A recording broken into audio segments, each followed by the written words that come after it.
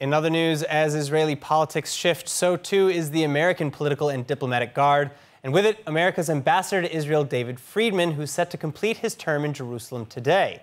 Unlike President Trump, however, who is reportedly refusing to attend the inauguration for President elect Joe Biden, Friedman is offering his full cooperation in the transition of duties to his successor from the coming administration. And touting the enduring strength of the Israel U.S. relationship as a fundamental value of the nation, Friedman says that he'd like to congratulate President elect Joe Biden and humbly offers whatever assistance that may be required.